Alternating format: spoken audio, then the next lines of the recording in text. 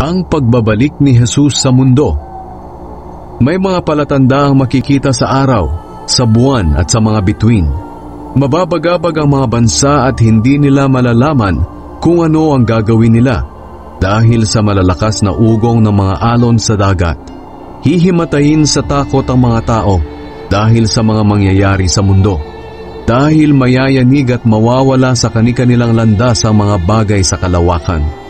At makita nila ako na anak ng tao na dumarating mula sa ulap na taglay ang kapangyarihan at kaluwalhatian.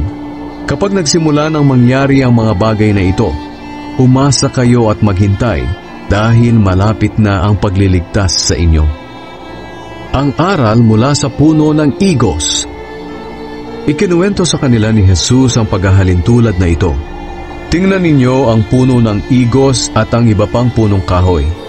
Kapag nagkakadahon na ang mga ito, alam ninyong malapit na ang taginit. Ganoon din naman kapag nakita ninyong nangyayari na ang mga sinasabi kong ito sa inyo, malalaman ninyong malapit na ang paghahari ng Diyos. Sinasabi ko sa inyo ang totoo, matutupad ang lahat ng ito bago mawala ang henerasyong ito. Ang langit at ang lupa ay maglalaho, ngunit ang mga salita ko ay mananatili magpakailanman. Maging handa kayo.